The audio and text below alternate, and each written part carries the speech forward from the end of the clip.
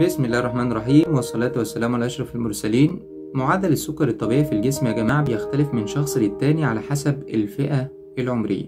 فلو الفئة العمرية كانت أقل من خمسين سنة يبقى معدل السكر الطبيعي بيكون أقل من مية وأربعين مللي جرام أقل من مية وأربعين مللي جرام لو الشخص سنه أقل من خمسين سنة.